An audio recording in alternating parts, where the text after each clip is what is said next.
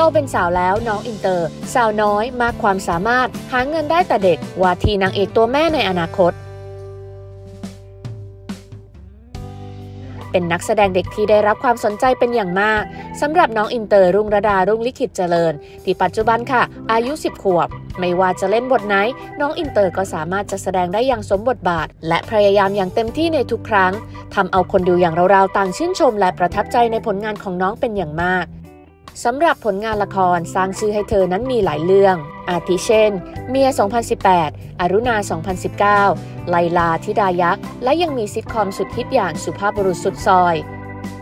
โดยน้องอินเตอร์นอกจากจะเป็นเด็กที่เก่งแล้ว ยังเป็นเด็กที่น่ารักทำให้คนรักใคร่เอ็นดูค่อนข้างเยอะ ก็เลยทำให้มีงานรุมแบบไม่มีคิวว่างเลยทีเดียว จนถูกตั้งให้เป็นซุปตาร์ตัวน้อยตั้งแต่อายุ 7 ขวบ ส่วนค่าตัวนั้นก็ไม่ธรรมดาค่ะ เพราะเคยมีการเปิดเผยตัวเลขออกมาว่า ค่าพรีเซนเตอร์ของน้องอินเตอร์อยู่ที่ 7 หลักเลยทีเดียว น้องอินเตอร์เป็นเด็กที่อ่อนน้อมถ่อมตน โดยได้รับการอบรมสั่งสอนเป็นอย่างดีจากคุณพ่อและคุณแม่